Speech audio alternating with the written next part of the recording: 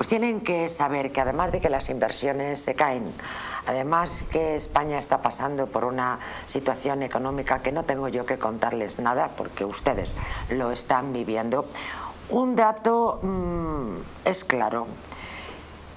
La deuda de la seguridad social se ha disparado desde la llegada de Pinocho en un 233%. Lo voy a repetir para que no quede ninguna duda. La deuda de la seguridad social en España se ha disparado un 233% desde la llegada de Sánchez. Don Roberto Centeno, qué gusto siempre saludar. Buenas noches. Muy buenas noches, querida María José y queridos telespectadores. Tremendo, esto es un dato brutal. Eh, llevo toda la noche recordando a nuestros oyentes que Pedro Sánchez ha mentido en Davos, que además ha, ha mentido con logros económicos que están muy lejos de la realidad. Hombre, este dato era para haberlo llevado en pancarta, ¿no? Bueno, realmente eh, en Davos este, eh, este dato precisamente lo llevó justo al revés. Miren ustedes, en la, mm, y ahora, ahora, ahora se lo explico. En Davos es un foro económico que eh, tiene lugar todos los años, al que asisten jefes de Estado y sobre todo eh, los líderes de las mayores empresas del mundo. Eh, Sánchez, cuyo discurso fue escuchado por poquísima gente, según el foro de Davos, en forma directa, ¿eh? Eh, a través de las pantallas que tienen allí, le escucharon 4.000 personas. A mi, a, mi, a, a mi ley, perdón, a mi ley le escucharon 165.000. No, no, la dejan ridículo. Don Roberto, ¿no le parece a usted? Me parece que la dejan absolutamente en ridículo. O sea, menos gente, menos gente, querido María José, que Vietnam. ¿eh? El tío de Vietnam. Ya me contarán a mí, al tío de Vietnam, que no era el jefe de gobierno, además, era, era un segunda fila. Bueno, pues a ese nivel quedó este tío. Pero es importante eh, lo que dijo. El discurso de este miserable, de este canalla, de este traidor, ¿eh? Eh, mm, tuvo dos partes. Una, como has dicho tú muy bien, la parte económica. En la parte económica, él hizo unas mentiras absolutamente brutales en todo lo que dijo. se lo hemos contado ya a los telespectadores.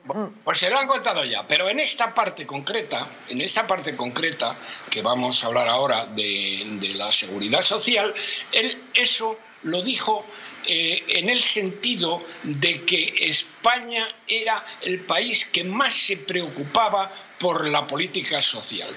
Tres de cada cuatro euros que se dedican a temas sociales eh, son gasto de la seguridad social y que son pagados por el Banco Central Europeo y por deuda. Bueno, las carcajadas que hubo cuando dijo esto fueron tremendas. Claro, peor fue la segunda parte, que perdóname nada más simplemente que la indique, en la segunda parte él se declaró claramente eh, comunista intervencionista y defendió la implantación de un sistema comunista intervencionista diciendo que iba a comprar participaciones en todas las grandes empresas españolas.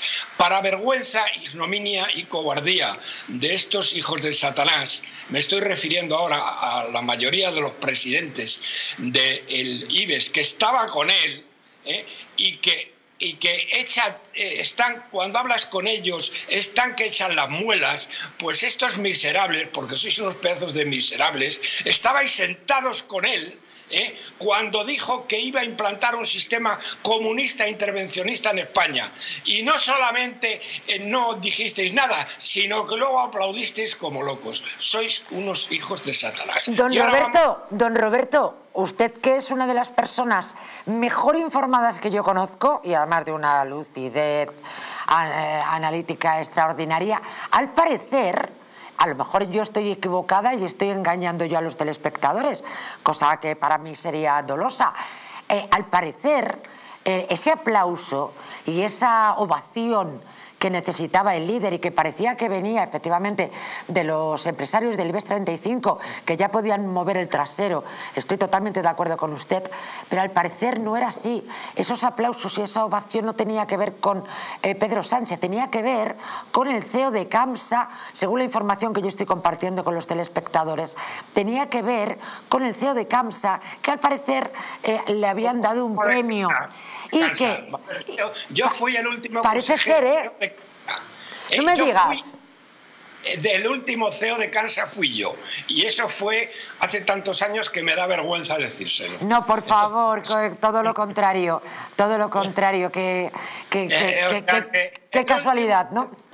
Lo tiene usted delante en estos momentos. Y eso ya... ¡Qué emocionante! No, no, no, no fueron los, fueron, fueron los empresarios. Son unos miserables, es que son unos miserables. Pero luego lo que más me, fastidia es que llegan a España y, bueno, y es que hay que oírlos. Lo que dicen este tío, lo que ha dicho. Bueno, eh, peor todavía es que esta semana, hace tres días, ha fundado una cosa que llama Cintán con unos analfabetos del PSOE que se llama Avanza para proclamar, vamos, para extender su idea de que la única manera de salvarnos es instaurar un comunismo intervencionista en la economía, en España. ¿eh?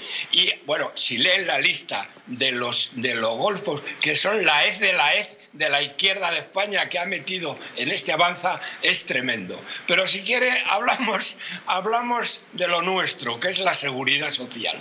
Ese 233% bueno, eso vamos a ver, es un poco según como lo mire. Sí es verdad esa cifra, pero vamos a ver, desde que él llegó, desde que él llegó en el año 18, ¿eh? se ha triplicado. No, esa cifra es, un poquito más del doble. Se ha triplicado y eh, la deuda de la seguridad social.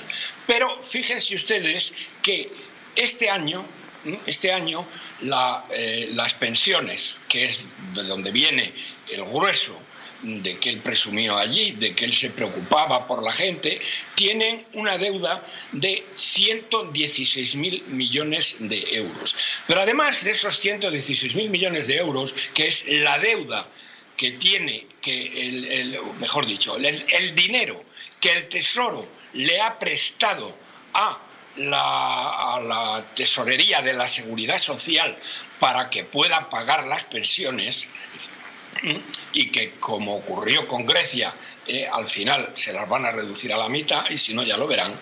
Eh, eh, esto, mm, aparte de estos 116.000 millones, luego de los impuestos salen otros 39.000 millones que no salen, por tanto, de las aportaciones de la seguridad eh, social, o sea, de las cotizaciones a la seguridad social, para pagar aquellos gastos que llaman impropios. ¿eh? Total, lo que les estoy diciendo es que a fin de este año, ¿eh? se les ha pagado, o sea, tienen una deuda los pensionistas de 155 mil millones de euros, que está, creciendo, que está, creciendo, exponencialmente ¿eh? y que supone verdaderamente una cifra eh, colosal en, primero, en sí misma, porque claro, lo que les estoy diciendo, señoras y señores, es que a pesar de los hachazos fiscales que les han metido, como por ejemplo este impuesto de solidaridad, que a todos ustedes, trabajadores y trabajadoras, les quitan de la nómina, no a los ricos, no a los del, no a los del IBEX que estaban sentados con, con este miserable en Davos. No. Pero a ustedes, trabajadores que reciben el dinero por una nómina, les quitan un 1% que no es deducible en el IRPF, como todas las demás cosas que les deducen son deducibles en el mes de junio cuando hacen ustedes la declaración del IRPF, este lo pierden eh, es a fondo perdido, ¿eh? aparte de este 1% de su nómina que se llevan estos tíos, ¿eh?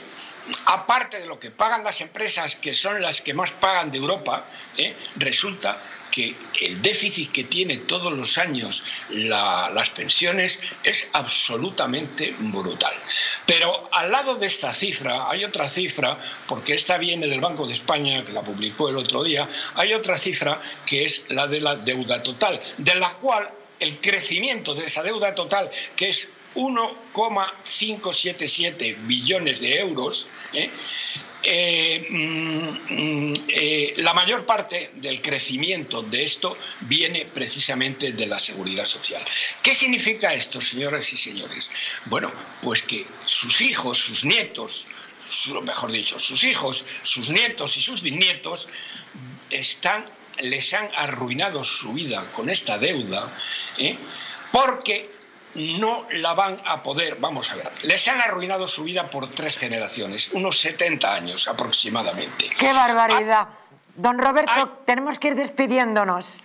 Pues nos despedimos. Simplemente decir que hay algunos eh, descerebrados, juntaletras eh, y opinatodos que dicen que no pasa nada porque la deuda no se devuelve. Mira, sois unos cretinos y unos, vamos, vamos, y unos analfabetos. La deuda no la tenemos con el BCE porque no sabéis ni siquiera cómo funciona el sistema. La tenemos con el Banco de España. Por lo tanto, si no la pagamos, que no la podremos pagar, España, ¿eh? en el balance del Banco de España, España se eh, se empobrecerá en la misma cantidad que dejemos de pagar. Por lo tanto, empobrecerán España exactamente igual. No la podremos pagar, como decís vosotros, pero España se empobrecerá en esa cantidad y por lo tanto el pueblo español. Gracias por tanto conocimiento y por contarlo tan bien y con tanta pasión, don Roberto. Feliz fin de semana y por cierto, ¿qué diferencia entre mi ley y Sánchez. Milei encumbrando las empresas y este tío machacándolas. Impresionante. Absolutamente. Qué agravio comparativo. Milei hizo más, Milei hizo más. Milei acusó al socialismo, no al comunismo, al socialismo, de haber empobrecido y llevado al hambre toda la, todos sí, grandes toda Hispanoamérica. Cierto. Y este tío quiere implantar el comunismo en España.